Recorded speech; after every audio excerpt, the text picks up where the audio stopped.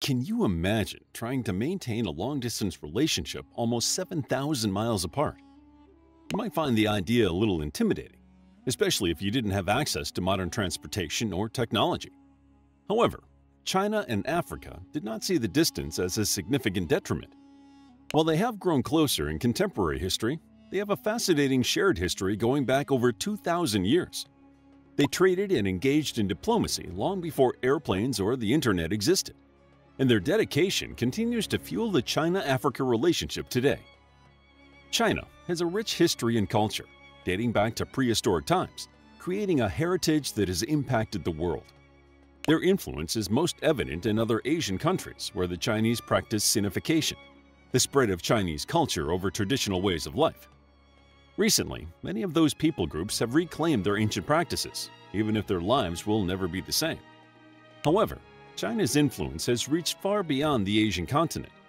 They also spread their discoveries across the globe, giving us items like rice, silk, gunpowder, and fireworks. While it may be easier to see China's influence in the Western world, China also has relationships with Africa. It is centuries old and reminds us that our economic, political, and social issues are part of the global community, allowing us to be interconnected. What was the historical China-Africa relationship based on? Some of the earliest interactions between China and Africa came via the Silk Road, a series of trade routes connecting China to the West. While parts of the trade route have been used as the Persian Royal Road for centuries, the Silk Road began around 130 BCE during the Han Dynasty and the Golden Age of ancient China. Emperor Wu was concerned for his people and wanted to stimulate the economy. Most people are more familiar with Europe's interactions with the Silk Road.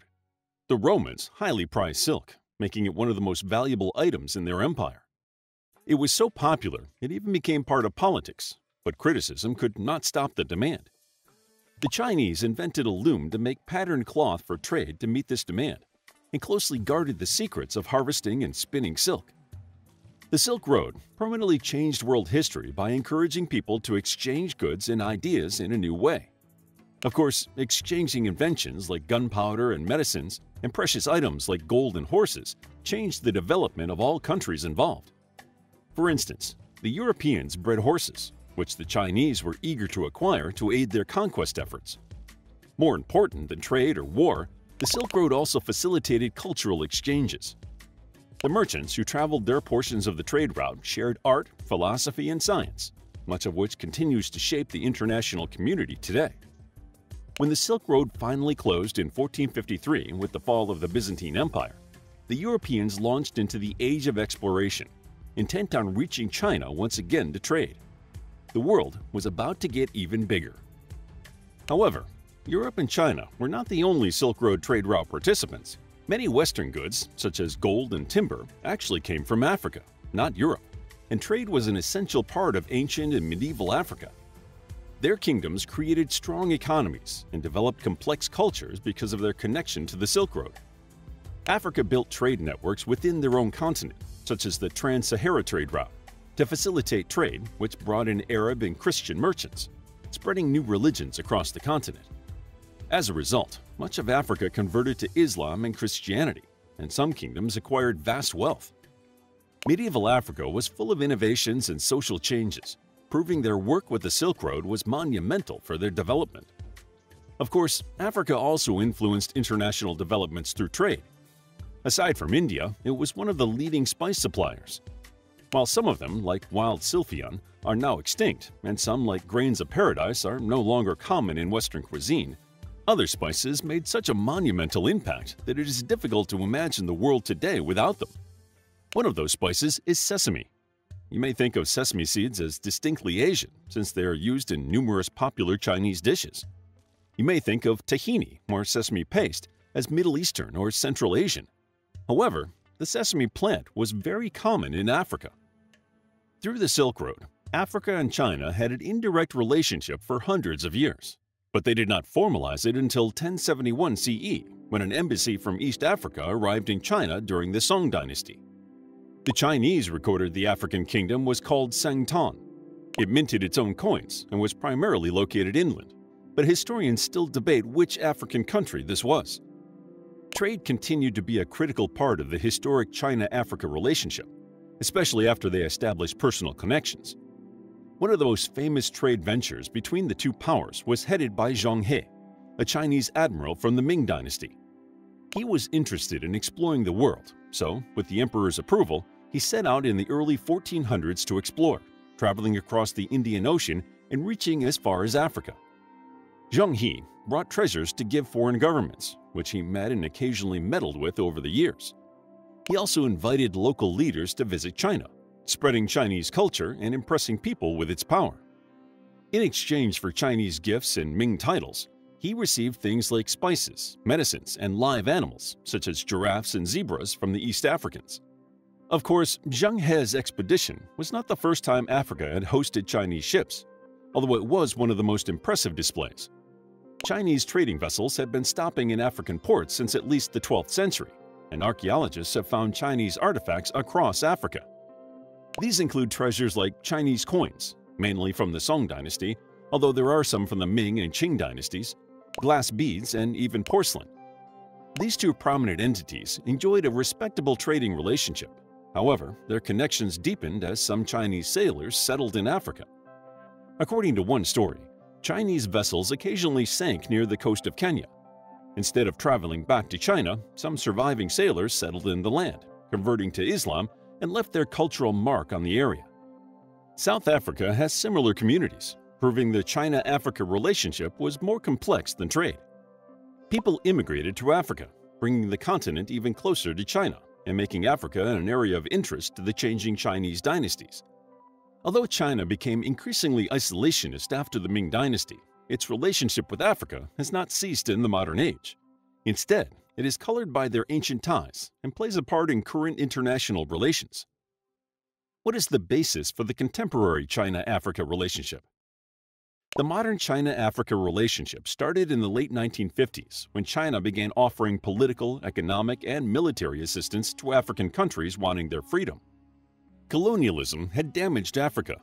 The age of exploration led Western European powers like Britain, France, and Spain to take over lands across the globe and exploit them for their own uses. Africa was not only exploited for its natural resources, but also for its people.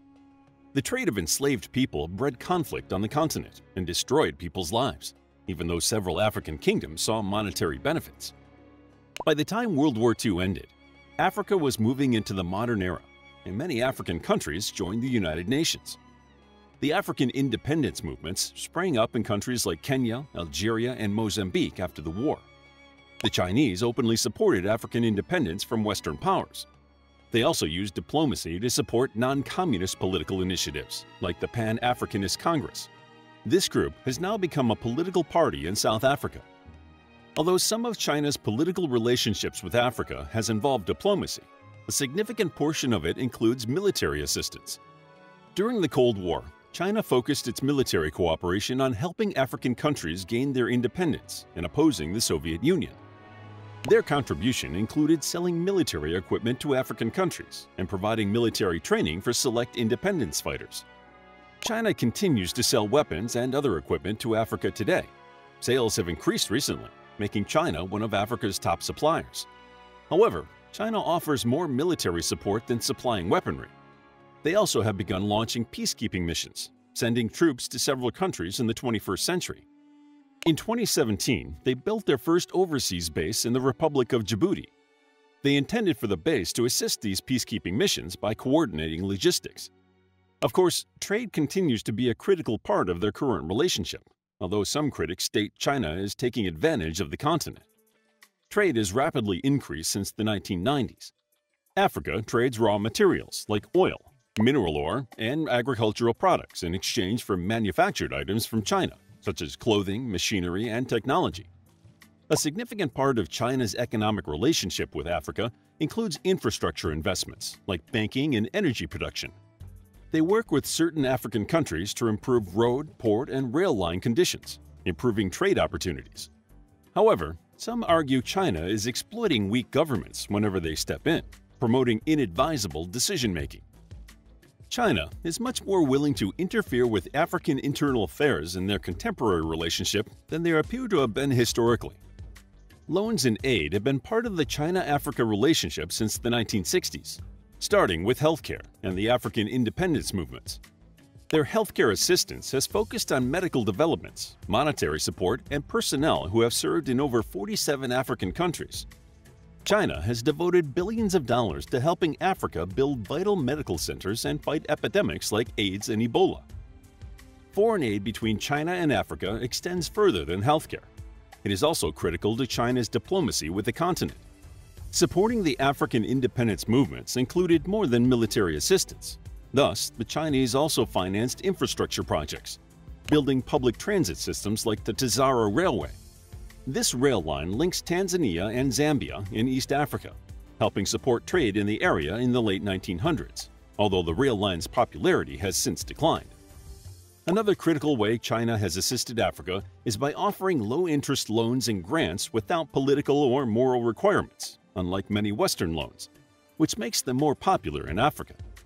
Most of these loans are used by developing countries to improve their infrastructure, giving them better water, electrical, communication, and transportation opportunities. These loans have helped improve social and economic issues across the continent. In addition, China has forgiven billions of dollars of African debt, although experts are still determining exactly how much they have forgiven so far. China still holds a significant amount of Africa's debt. Some experts fear China is using debt trap diplomacy to force African countries to share their natural resources through contemporary colonization. Still, others believe this idea is an exaggeration of the China-Africa relationship. Overall, Africa and China have had a long and complex history spanning over 2,000 years. They have influenced each other directly and indirectly, shaping global history through their trade networks and bids for political power. While some people may view the China-Africa relationship as a minor part of international politics, it has shaped the world. Their cooperation can be seen today through things like sesame seeds, gold, and the ongoing concerns for healthcare in the recent pandemic. Their relationship reminds us that we are all interconnected, no matter how many miles may separate us. How would you like to get a deeper understanding of history, impress your friends, and predict the future more accurately based on past events? If this sounds like something you might be into, then check out the brand new Captivating History Book Club by clicking the first link in the description. To learn more about China, check out our book, History of China, a captivating guide to Chinese history, including events such as the first emperor of China, the Mongol conquests of Genghis Khan, the Opium Wars, and the Cultural Revolution. It's available as an ebook, paperback, and audiobook. If you enjoyed the video, please hit the like button and subscribe for more videos like this.